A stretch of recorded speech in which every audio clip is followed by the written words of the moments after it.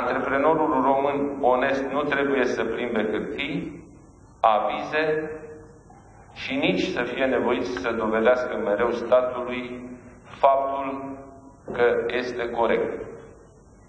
El trebuie lăsat să își administreze afacerea și e datoria statului să reducă birocrația. În acest sens, digitalizarea este o prioritate majoră a acestei guvernări.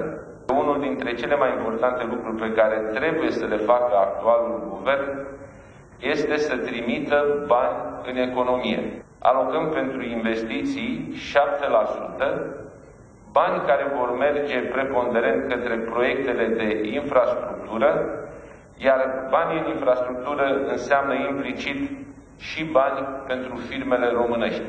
Banii necesari pentru ceea ce înseamnă redresarea României sau bugetului de stat sau acoperirea facturii sociale care este imperios necesară, vor fi din combaterea evaziunii fiscale. Dar suntem o țară săracă.